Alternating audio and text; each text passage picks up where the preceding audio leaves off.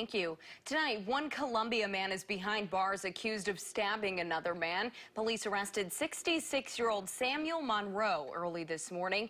And today, ABC 17's Lindsay Burning also talked to neighbors who helped the victim. And Lindsay, they say the man knocked on their door and asked them to call 911.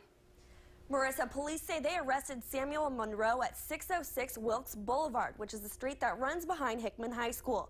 Police did not name the victim who was stabbed, but they say he's a 57-year-old man. Down the street, a neighbor says he was playing video games with friends when he heard a knock at the door. I opened the door to see a stranger. He uh, asked for us to call 9 or for 911 for an ambulance mm -hmm. because he just got stabbed. Around 2 o'clock this morning, police responded to a call on Wilkes Boulevard for a report of an assault. After investigation, police say they found out the victim had been in an argument with Monroe. During a heated argument, Monroe pulled out a pocket knife and stabbed the victim in the stomach several times and also in the back. Caleb Burkhart says he thinks the man knocked on his door because it was the only house on the block with lights still on in the middle of the night.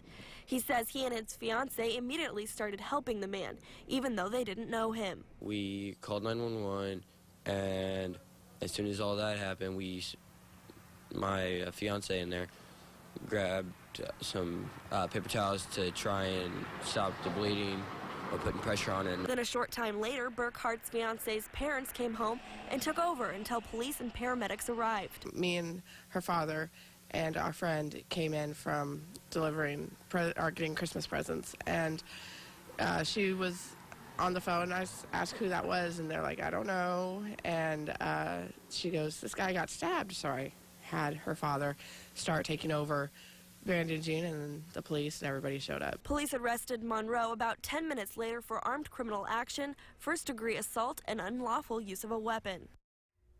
The victim was transported to a local hospital for his injuries. Police say the wounds were non-life threatening. Thank you, Lindsay. And Monroe is currently in the Boone County Jail. His first court appearance is set for December 1st.